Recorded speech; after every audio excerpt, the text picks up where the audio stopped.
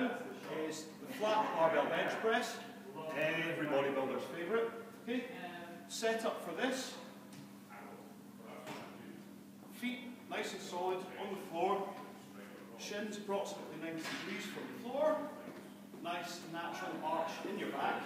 Shoulders pinned together and down. Essentially you're trying to squeeze your scapula together, but not with your shoulders up to your ears.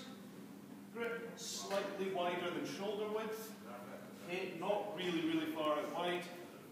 Not too narrow either. Okay, just outside your shoulders. Nice hand. I don't recommend this, what they call suicide grip. It's called that for a reason. So let's wrap your thumb round the opposite way the bar to your fingers. Okay, shoulders down back. Press the bar up. Down to your chest, mid chest,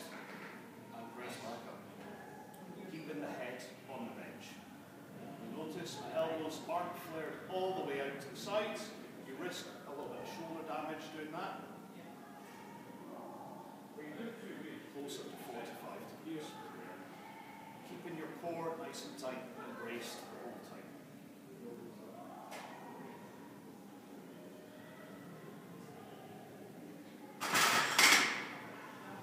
Cheers.